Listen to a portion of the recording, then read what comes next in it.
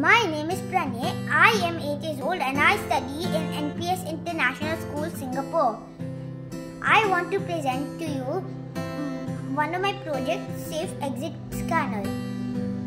See, my project is useful because it scans you to see if you're fit to go outside. Please use this uh, for you and your loved ones for your safety.